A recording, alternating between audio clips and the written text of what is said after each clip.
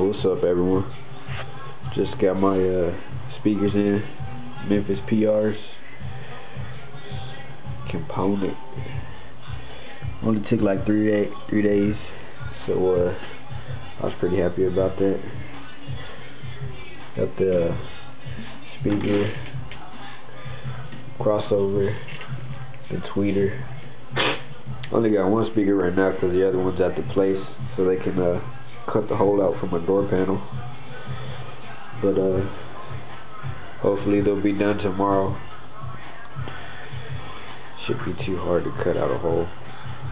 Buy the tools, I do it myself. But uh, magnet. So okay, was not planning on uh, disturbing the piece. So give you a quick update. That's it.